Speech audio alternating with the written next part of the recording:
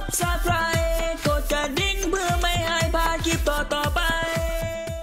สวัสดีครับมาอยู่กับช่องเดอะราชาแนลอีกแล้วนะครับผมวันนี้นะครับผมจะมาอ่านข่าวข่าวหนึงให้ฟังนะครับบังเอิญเนี่ยไปเจอข่าวนี้นะครับผมจาก w w w m g r o n l i n e c o m นะครับเขาได้บอกว่าถึงเวลาช่อง 7 ปลดล็อกตัวเอง แก้วิกฤตดาราไหลออกนะครับเขาได้พูดถึงเกี่ยวกับว่าทางช่อง 7 เนี่ยมีดารานะฮะที่หมดสัญญาแล้วก็ดาราเนี่ยส่วนมากเนี่ยหมดสัญญาแล้วก็ไม่ต่อสัญญา แล้วก็ไหล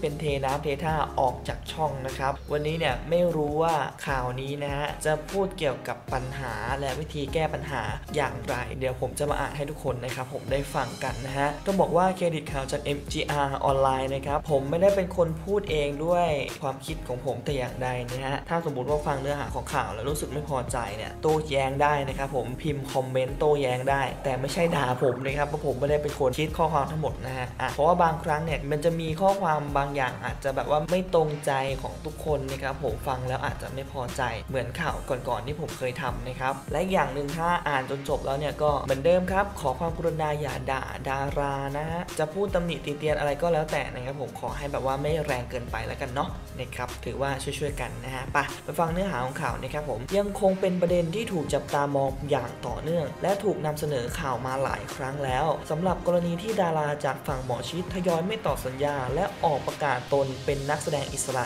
กรณีล่าสุดดูเหมือนหวยจะไปออกที่เกรซ กาญจน์เกล้าว่าที่แนวโน้มจะไม่ต่อสัญญาเป็นคนต่อไป โดยข้อสันนิษฐานมาจากการที่ account โซเชียลอย่างเป็นทางการของทางช่องเจ็ดสี ยกเลิกการติดตาม IG ของเกตไปเรียบร้อยแล้ว พร้อมๆกับที่เว็บไซต์ของช่อง 7 เอง ไม่มีปรากฏรายชื่อของนักแสดงสาวคนนี้เหมือนเคย แต่อย่างไรก็ตามก็ยังคงเป็นเพียงการตั้งข้อสังเกตเท่านั้น ยังไม่มีการออกมายืนยันอย่างเป็นทางการ จากทางฝั่งของเกรซและจากทางฝั่งของช่อง 7 ทว่าถ้าาประเมินจากสถานการณ์ก็มีแนวโน้มข่าวน่าจะมีมูลไม่น้อย เพราะเกตก็ปักหลักอยู่วิทย์หมอชิดมายาวนานกว่า 10 ปี และก็ดูเหมือนว่าอยู่ในจุดเดียวกับที่ใบเฟิร์นพิมพ์ชนกเคยประสบมาก่อน นั่นคืออยู่แบบไม่มีความหวัง คือไม่ได้รับการสนับสนุนอย่างเต็มกำลังเท่าที่ควรจะเป็น บางเรื่องก็ดันมาเป็นนางเอกนำแต่ก็มีไม่น้อยที่ถูกลดชั้นให้ไปเล่นเป็นนางร้าย ไม่ใช่ว่าการเล่นเป็นนางร้ายไม่ดี เปล่าเลย แต่ในที่นี้มองในเรื่องของการวางแผนตำแหน่งทางการตลาด และการสร้างจุดยืนให้กับนักแสดงในสังกัด ที่ควรจะไปให้สุดทาง ไม่ว่าจะทางใดทางหนึ่ง จะนางเอกหรือนางร้ายก็เอาให้มันชัดเจน ไม่ใช่มอบหมายงานแบบสะเปะสะปะ ไม่มีทิศทางที่แน่นอนแบบนี้ สถานการณ์ของทางช่อง7เกรซจึงไม่ต่างกับใบเฟิร์นคือไม่มีผลงานที่โดดเด่นเป็นภาพจำเป็นละครในตำนาน หรือระดับ masterpieceถ้าไม่เสิร์ชหาข้อมูลแบบจริง ๆ จังๆ เชื่อว่าคงไม่มีใครนึกภาพออกว่า ผลงานที่ผ่านมาของเกรซมีเรื่องอะไรบ้าง ทั้งที่ว่าไปแล้ว ทั้งหน้าตาบุคลิก รูปร่าง และความสวยเจิดจรัสของเธอ ก็ไม่ได้น้อยหน้านางเอกคนอื่นในช่องเลย แค่อาจจะบังเอิญไปอยู่ผิดที่ผิดทางเท่านั้น ถ้าได้ออกมาเป็นนักแสดงอิสระที่สามารถเลือกสกรีนการรับงานที่เกื้อหนุนให้โอกาส ได้สำแดงศักยภาพได้อย่างเต็มที่ สอดคล้องกับคาแรคเตอร์ของเธอ เชื่อว่าอนาคตของเกรซก็น่าจะไปได้สวยไม่แพ้กับใบเฟิร์นที่กว่าจะหาจุดพีคของตัวเองได้ ก็ต้องล้มลุกคลุกคลานเป็นนักแสดงที่ถูกช่องลืมอยู่นาน Thank you. ที่ผ่านมาแม้จะมีข่าวนักแสดงตัวท็อปทยอยออกไปจนแทบจะหมดค่าย ก็ดูเหมือนว่าช่อง 7 แทบไม่มีปฏิกิริยาตอบสนองใด ๆ แต่มาถึงวันนี้น่าจะพูดได้ว่าสถานการณ์ไม่เอื้อให้สามารถอยู่เฉยๆ แบบทองไม่รู้ร้อนเหมือนเก่าได้แล้ว ดาราที่ออกไปแล้วคงเรียกกลับรังมาได้ยาก ทางเดียวก็คือต้องพยายามรั้ง และรักษาคนที่ยังอยู่ให้ดีที่สุด ลองนับนิ้วไล่รายชื่อของนางเอกในช่อง 7 ที่เหลืออยู่ และยังพอขายได้ก็เห็นจะมีแต่อั้ม พัชราภา ไชยเชื้อกับมีนพีชญาท็อปฟอร์มอย่างอั้มก็ประกาศชัดเจนแล้วว่า จะรับงานเพียงแค่ปีละเรื่อง ซึ่งล่าสุดก็ตกปากรับคำก็คือเรื่องจากศัตรูสู่หัวใจ ที่เล่นประกบคู่พระเอกรุ่นน้องอย่างมิกทองระยะคือต่อให้อ้ำไม่ประกาศจุดยืนว่าจะรับละครเพียงปีละเรื่อง ก็ไม่ได้หมายความว่าจะมีละครป้อนให้เล่นได้มากกว่านี้เพราะลองกวาดตามองพระเอกในช่อง ที่มีบารมีที่มากพอที่จะเล่นประกบคู่กับนางเอกหัวแถวอย่างอ้ำในเวลานี้ แทบจะมองไม่เห็น ยังไม่นับรวมถึงอายุอานาม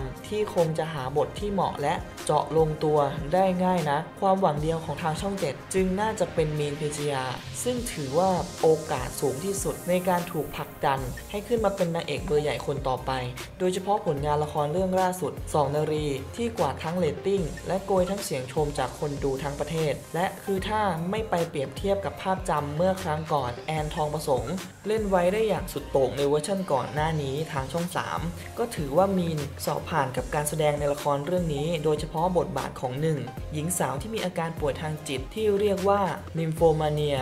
บุคลิกทางร่างกายบกพร่อง เพราะมีปมหลังที่เคยถูกข่มขืนรุมโทรม จนเป็นจุดเริ่มต้นของการทำตัวประชดชีวิต และเสพติดเรื่องเพศ ผ่านการแสดงที่มีมิติ ชนิดที่แทบจะนึกไม่ออกเลยว่าก่อนหน้านี้ เธอคือพจมานสว่างวง ในเวอร์ชั่นที่แทบจะไม่มีใครจดจำมองมาที่ฝั่งของพระเอก คนที่เหมือนว่าจะรับบทหนักในสภาวะขาดแคลนพระเอกเบอร์ใหญ่มากที่สุดในช่องตอนนี้ น่าจะหนีไม่พ้นเวียร์ ศุกลวัฒน์ที่ปีนี้ต้องแบกรับละครไว้คนเดียวถึง 4 เรื่องที่จบไปคือผู้บ่าวอินดี้ยาหยีอินเตอร์ และพัชรมนตาและที่จะตามมาอีก 2 เรื่องนั่นก็คือยอดรักนักรบและม่านบังใจ รองลงมาก็น่าจะเป็นมิกค์ ทองระย้ากับไมค์ ภัทรเดชที่ทางช่อง 7 สมควรจะฝากผีฝากไข้เอาไว้ แต่ถึงแม้ว่าพระเอกหรือนางเอกแต่ละคน จะมีฐานแฟนคลับที่ส่งผลต่อเรตติ้งของละครที่พุ่งขึ้น จนแตะตัวเลขที่น่าพึงพอใจ แต่การยัดเยียดให้คนดู เห็นนักแสดงซ้ำๆอยู่ไม่กี่คนก็ไม่ใช่เรื่องดีนัก ฉะนั้นอีกข้อหนึ่งที่ช่อง 7 ต้องพยายามปลดล็อกตัวเองด้วยการคิดค้นกลยุทธ์การปั้นนักแสดงหน้าใหม่ขึ้นมาทดแทนให้ได้ หลังจากการถูกพัฒนาด้วยข้อหาที่ว่าปั้นใครไม่ขึ้นมานานหลายปีนี้อะอันนี้ก็เป็นข้อความนะครับผมจากทางเว็บ MGR ออนไลน์นะครับที่เขาเหมือนจะออกมานำเสนอวิธีการนะครับผมที่จะทำให้ช่อง 7 เนี่ย มีนักแสดงที่สามารถดึงเรตติ้งได้ต่อๆไปนะครับคนแรกเนี่ยเขาก็พูดถึงเกตการก้าวที่มีแนวโน้มนะครับว่าจะหมดสัญญานะฮะและไม่ต่อสัญญาด้วย เขาเลยเอาเกตการก้าวนะครับผมมาเปรียบเทียบกับใบเฟิร์นพิมพ์ชนกนะครับที่เมื่อก่อนเนี่ยเคยอยู่กับทางช่องเจ็ดสี แต่ว่าก็ไม่ได้ถูกผลักดันให้เป็นนางเอกแบบว่าให้ได้รับบทแบบโดดเด่นจริง ๆ จังๆนะครับผมจนสุดท้ายเนี่ยก็หมดสัญญาแล้วก็มาผลักดันตัวเองจนปัจจุบันเนี่ยเป็นนักแสดงอิสระที่เปี้ยงปังในละครของเธอแต่ละเรื่องนะครับเขาเลยมองว่าถ้าเกสเนี่ยออกมาเป็นอิสระเนี่ยเธอเนี่ยก็น่าจะมีแนวโน้มที่ไปทางเดียวกับ บเฟิร์นพิมชนกได้นะครับ ส่วนที่เขาพูดถึงนางเอกนะครับผมที่เป็นเบอร์หนึ่งของช่องจริง ๆ จังๆนะครับเขายกให้อ้ำพัชราภานะครับผมกับมีนพินชยานะครับแต่ว่าอ้ำพัชราภาเนี่ยเธอออกปากมาบอกว่าจะรับละครปีละหนึ่งเรื่องเท่านั้นนะครับซึ่งตอนนี้เนี่ยก็มีผลงานของเธอก็มีเรื่องจากสตูสู่ใจที่ประกบคู่กับมิกทองระยานะคะแต่เขาก็บอกว่าแต่ว่าต่อให้เธอเนี่ยไม่ออกมาบอกว่าจะรับละครปีละหนึ่งเรื่อง ก็ใช่ว่าทางช่องเนี่ยจะป้อนให้เธอในปีละหลาย ๆ เรื่อง เพราะว่าด้วยอายุที่มากขึ้นนะครับผมบทแต่ละอย่างเนี่ยมันก็เลยอาจจะยากขึ้น อันนี้ก็เป็นส่วนหนึ่งนะ เหมือนที่แซมมี่เคยพูดไว้ที่ละครน้อยลงทุกวันเพราะว่าอายุตัวเองเนี่ยมากขึ้น จะให้ไปรับบทเป็นนางเอกวัยรุ่น หรือไปใส่ชุดนักเรียน มันก็ดูแบบไม่เหมาะคนดูจะไม่อิน และตัวเองเนี่ยก็เล่นไม่อินนะครับอันนี้ก็เป็นอีกข้อหนึ่งที่เขาวิเคราะห์มานะครับส่วนนางเอกคนหนึ่งนะครับผมตอนนี้เนี่ยที่ทางช่องเนี่ยน่าจะดันขึ้นไปได้ แบบเป็นเบอร์หนึ่งแบบสุดๆ เลยก็น่าจะเป็นมีนพินชยานะครับเพราะว่าเธอเนี่ยพิสูจน์ฝีมือจากเรื่องสอารีนะครับที่เล่นไว้ได้ดีมากในบท 1 แล้วก็ 2 นะครับ ส่วนพระเอกหนุ่มนะครับผมยังไงก็หนีไม่พ้นพี่เวียร์ ศุกลวัฒน์นะ เพราะว่าเขาว่าปีนี้เนี่ยพี่เวียร์เนี่ยรับบทหนักนะครับผมมีละครด้วยกันถึง 4 เรื่องเลยนะฮะที่ออนแอร์ไปแล้วก็ 2 เรื่อง จะออนแอร์อีกก็ 1 เรื่องนะครับถ่ายทำเปิดกล้องไปเนี่ยก็อีก 1 เรื่องนะครับซึ่งปีนี้เนี่ยมีข่าวละครพี่เวียร์ถึง 4 เรื่อง แต่ไม่ได้ดูถึง 4 เรื่องหรอก อาจจะแบบว่าทยอยไปดูปีหน้าด้วยนะครับคนต่อไปที่เขาพูดถึงนะครับผมนักแสดงผู้ชายนั่นก็คือมิกทองระยะกับไมค์พัคารเดชนะครับมิกทองระยะเนี่ยมีแนวโน้มว่าจะอยู่ช่อง 7 อีก หลายปี แต่ว่าไมค์พัคระเดชเนี่ยมีข่าวแว่วๆว่าจะโบยบินหรือเปล่า อันนี้ก็ต้องมาลุ้นกันนะครับ เพราะว่าหลังจากนี้เนี่ยไมค์พัคระเดชเนี่ยไม่มีละครแล้วที่เปิดกล้องนะครับ มีแต่ผลงานปัจจุบันและที่จะกำลังจะได้ดูในอนาคตก็คือดวงใจขบฏนะครับเขาก็เลยแนะนำว่าช่อง7เนี่ยควรจะปลดล็อกตัวเองนะครับผมคิดกลยุทธ์ในการปั้นนักแสดงหน้าใหม่ขึ้นมาทดแทนให้ได้นะครับหลังจากที่ถูกพันธนาด้วยข้อหาที่ว่าปั้นใครไม่ขึ้น อันนี้เนี่ยแรงพอสมควรปั้นใครไม่ขึ้นนะครับแต่ว่าผมว่าช่องเจ็ดเนี่ยเขาก็ไม่ได้นิ่งนอนใจนะ เพราะว่านักแสดงใหม่ๆเขาก็เยอะอยู่เหมือนกันนะครับผมเขาก็ปั้นขึ้นมาหลายคนอยู่ ถ้าสิ่งที่ทุกคนเนี่ยเห็นเหมือนผมนะครับ คนที่เขากำลังปลุกปั้นให้เป็นเบอร์หนึ่งของช่องเลยพระเอกเนี่ยหนีไม่พ้นเข้มหัสวีอย่างแน่นอนนะครับ ส่วนนางเอกที่ละคร